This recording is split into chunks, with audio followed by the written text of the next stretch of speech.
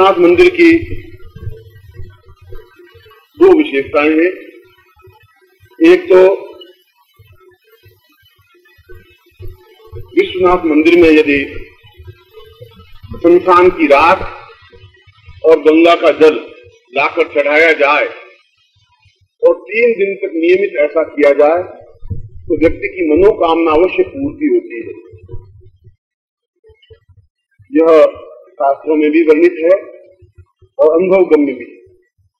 इसलिए वहाँ पर रश्मि मुर्दे की भस्म लेकर के या चिता भस्म लेकर के भगवान शिव को चढ़ाई जाती है और गंगा का जल वहाँ से लाकर के भगवान शिव को चढ़ाया जाता है।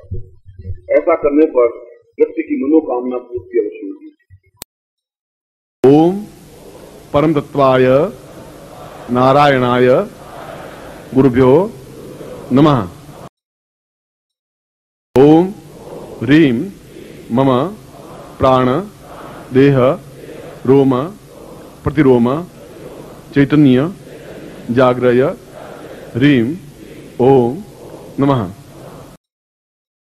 ओम भूर्भुवः, स्वः तत्सवितुर्वरेण्यं